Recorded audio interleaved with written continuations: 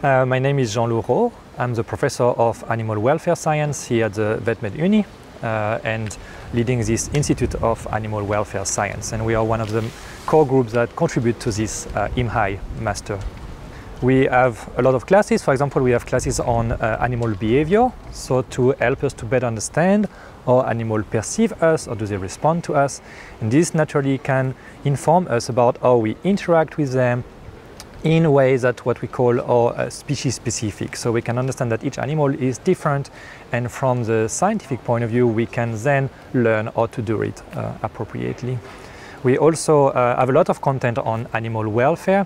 That means uh, to understand scientifically how animal experience the condition in which they live, uh, but also how they feel as a result. And this can actually have a lot of uh, impact. It can really lead to changes in the way we treat animals, in the way we care for animals, for example.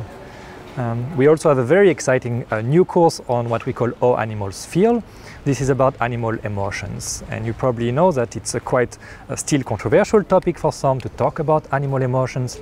In this course, we uh, see the different theory on animal emotions. We also talk about the new scientific approach to animal emotions. So anywhere from uh, behavior, uh, health, but also neurobiology. Nowadays, everyone I think realizes how important is the topic of human-animal interaction.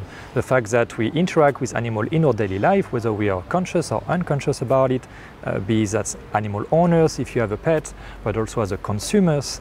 And in a broad variety of ways, we can also, for example, impact on animals. Yeah?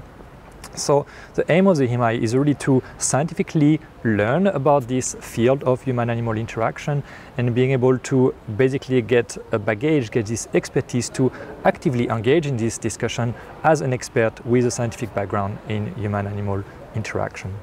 And this is a great opportunity here. We have a lot of different groups contributing to this IMHAI, uh, us as animal welfare, but also the other groups.